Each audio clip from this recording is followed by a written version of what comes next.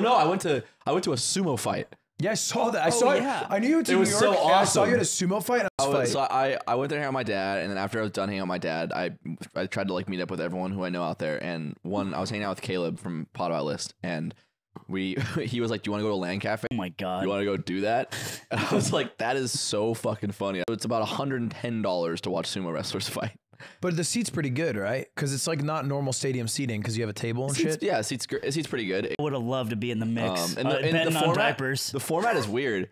Like, uh, so like there's like uh, two fighters, and then one wins, and winner stays on, and then someone else comes on. They don't play rotation and they in just New keep York. going until there's a champion, which I did not understand.